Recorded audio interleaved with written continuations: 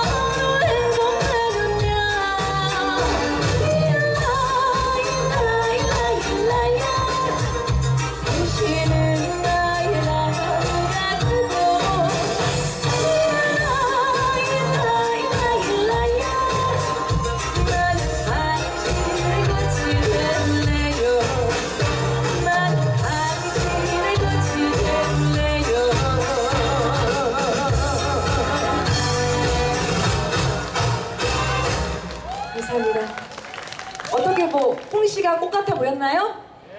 네, 여러분도 항상 즐겁고 행복한 일만 가득하시길 바라겠고요. 마지막